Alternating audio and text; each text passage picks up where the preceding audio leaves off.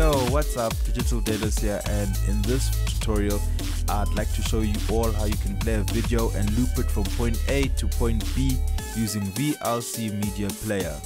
Alright, let's take a randomized video. This is a video for example.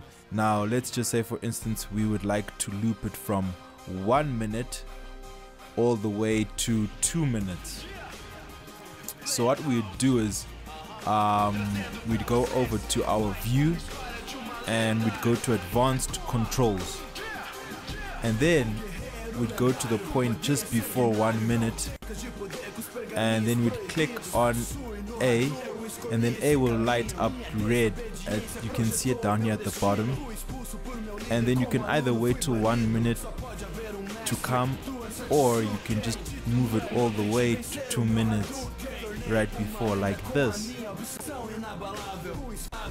And then right before the second minute you hit uh, the, the, the set point again and then it will actually light up. Both will be red. So now if I try to if you just leave it to play to loop over and over and over again. Um, if you go before it will just automatically loop back again. But if you go before in time it, it will actually play uh, all the previous elements before reaching one minute and then the loop will start all over again. It will go into sync. And yeah that's basically how you do a loop. Um, I hope you guys all liked the tutorial.